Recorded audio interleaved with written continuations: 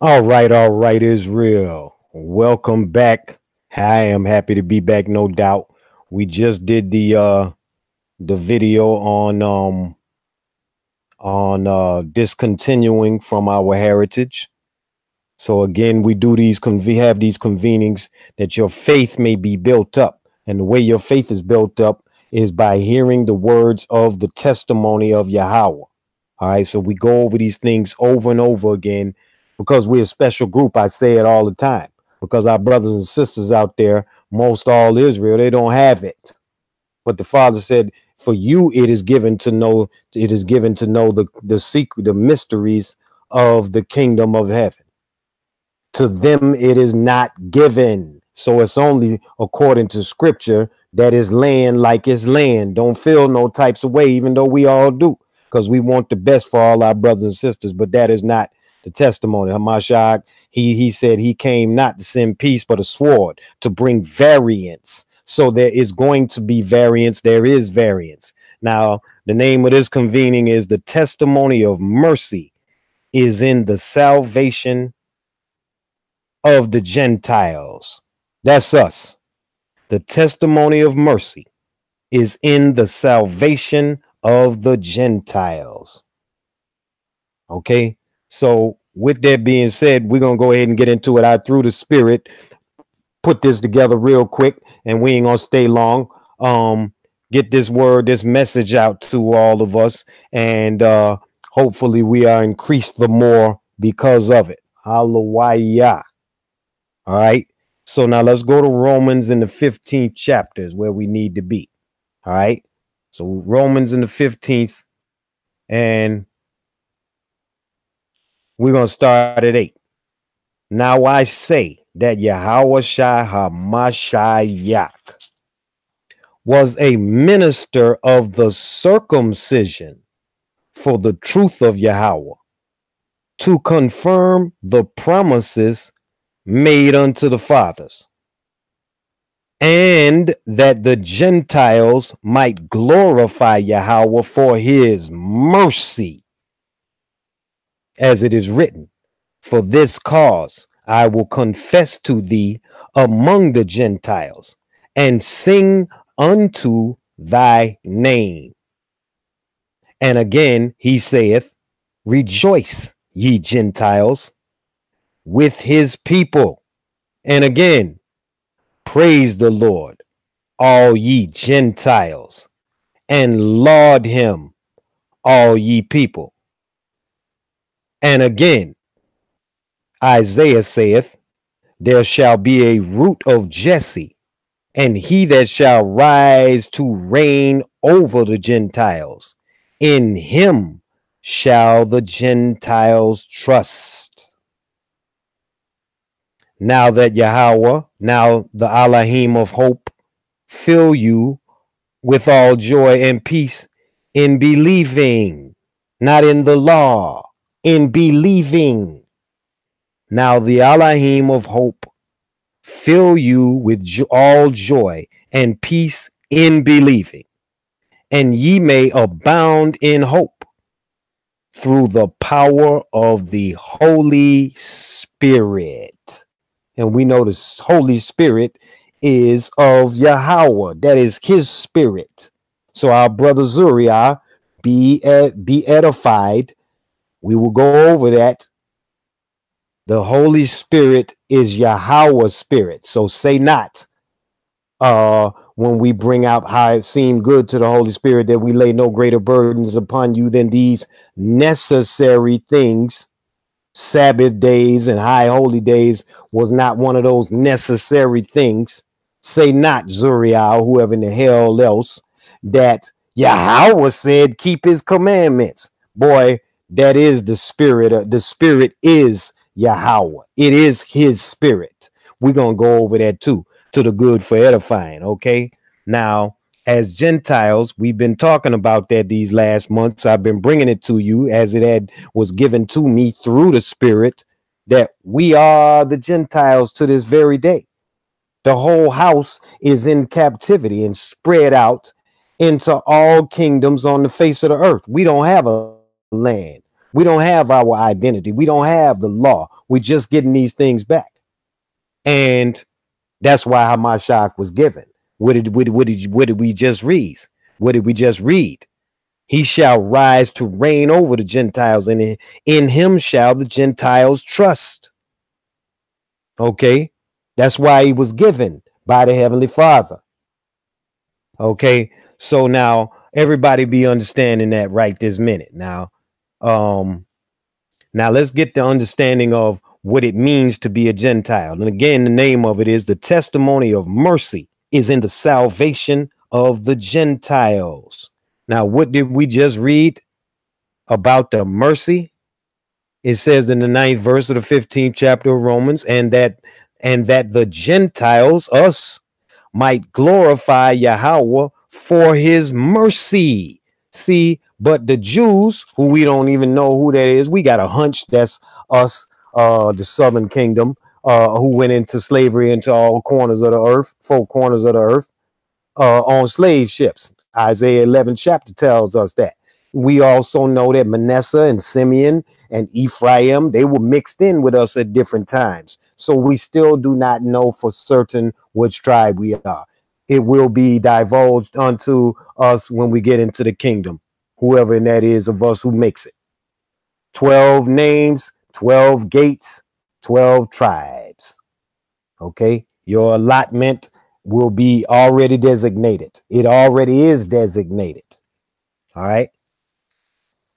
Now, uh, it said here, now I say that Yahushua Mashiach was a minister of the circumcision for the truth of Yahweh, that being the Jews, to confirm the promises made unto the fathers. Now, when we go back, and we're going to get in here right quick, and we're going to get the definition of what it means to be a Gentile so that you don't think I'm making up my own shit, just in case you already didn't know yourselves. You understand that? Let's go back to the third chapter of Romans, and we want to see the significance of what it means to be a Jew. It says, Oh, what advantage then hath the Jew? Or what profit is there of circumcision? Much every way, chiefly because that unto them, the Jews, were committed the oracles of Yahweh. That's what it means. Committed was unto the Jews. It was committed the oracles of the Heavenly Father. Okay, so now as Gentiles, all of us are. How the hell are we gonna be anything more? And we don't even know who in the hell we are. So now, as these Gentiles, still though, we have a hunch, according to the scripture, Isaiah 11, scattered to all the corners, four corners of the earth. Okay, that the southern kingdom, Judah, the Jews, it went on slave ships. All of us didn't go on slave ships. The rest of our brothers and sisters are over there in the old land, Africa, and all of those different places, in that whole region over there.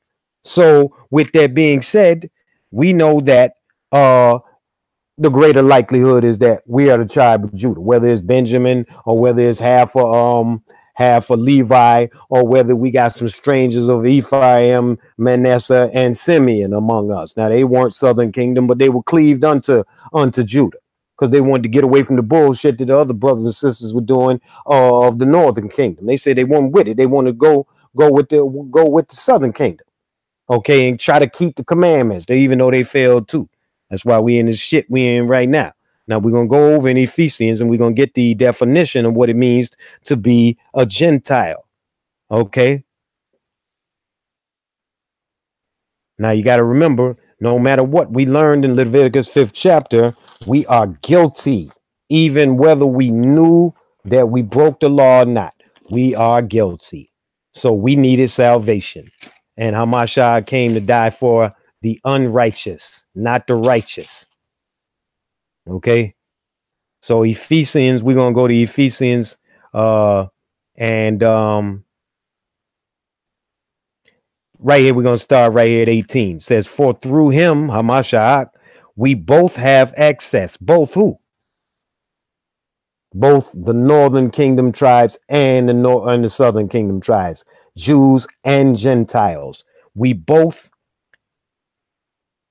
through him have access by one spirit, the spirit of the heavenly Father, unto the Father. Now, therefore, ye are no more strangers and foreigners, but fellow citizens with the saints and of the household of Yahweh. So, this whole testimony of Yahweh, since way back in the beginning, has been um, extended unto the Gentiles, the strangers, and the foreigners. And now we are fellow citizens. So it don't matter what tribe you are, in the sense of we all got access to the Father by one spirit. You understand that? Now, the significance that we just read in third third chapter of Romans is that to us was committed, or to the Jews was committed the oracles, the word of the heavenly Father. So it's right on point that we here, the children of the slave trade, more exclusively or specifically, uh, us over here in America, how it is that we pretty much are in charge of distributing the truth, the oracles, unto the rest of the, the, the tribes, uh, brothers and sisters on the face of the earth. Everything's coming out of here. We're in that sinful kingdom, the number one kingdom on the face of the earth, up under this particular white man right here, oppressor right here, who happen to have uh, the oracles of the heavenly Father in his possession. We ain't we ain't never went no had held no uh in captivity, had no print shops printing Bibles, so on and so forth. Even through Christianity, the Heavenly Father made sure sure that we would get some get his word. Have all faith in the heavenly. You know what the hell he's doing. Now, um, again, we are the children of the slave trade, the Jews the disbursement unto the end of the heaven, unto the ends of the earth is what it is. Who have discontinued from our heritage, as Jeremiah uh, testifies in the 17th chapter. We've discontinued from our heritage, our inheritance or heritage, same same thing. That is the law. Deuteronomy in the 33rd chapter tells us that. Our inheritance is the law. So we have discontinued from the law. And because we broke the law, we went into slavery. But we broke the law because we didn't have no faith. 32nd chapter of Deuteronomy. Children in whom there is no faith. Abraham started this whole line off, this righteous seed, by being faithful unto the Heavenly Father. Okay? That's why we are justified by our faith, not the deeds of the law. That's what it says. Get down with it or else. Unbelievers, that's what you are if you don't get down with the testimony. You are an unbeliever, and you shall receive the wrath of the heavenly Father. Ain't no two thing, two ways about it.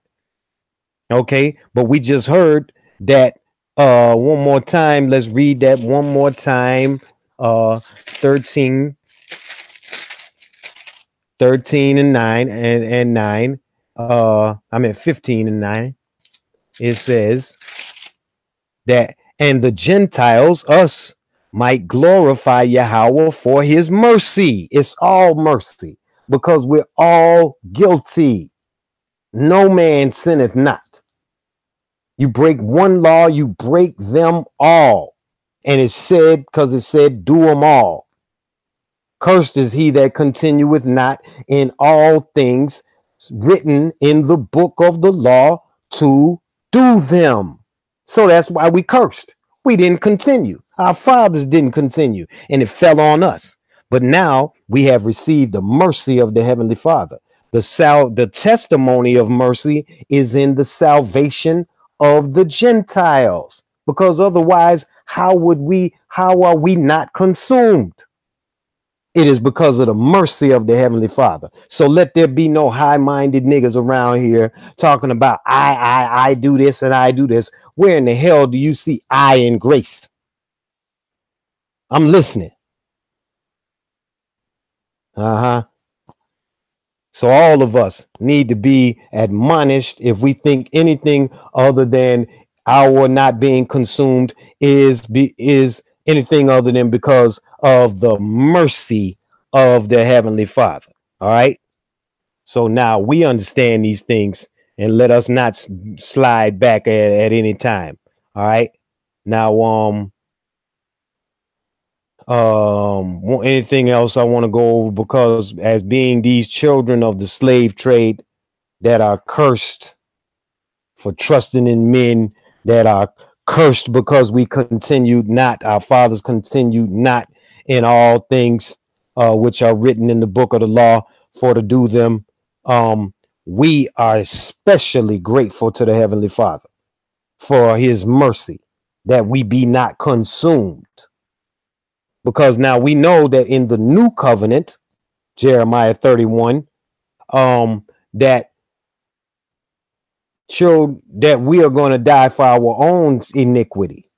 No longer will it be as was it back back in the day where when our fathers sinned, then the, their children and the generations after them also would receive smoke for their doing. But Jeremiah 31 said in the new covenant that every man should die for his own sin. See, that's that's that's that's where the, the heavenly father's mercy comes in. Because we over here in this stinking ass lands right now under the boot of the oppressor because of what our fathers did. I just woke up. I just was born in 1970. Why and what the hell did I do? Yet I'm in slavery. You see that? I'm paying for what the, the fathers did. And if it weren't for that, I wouldn't be Israel. You see that? And if I wouldn't be Israel, I'd be a heathen. And if I was a heathen, then there would be nothing coming but smoke. There is no salvation for heathen.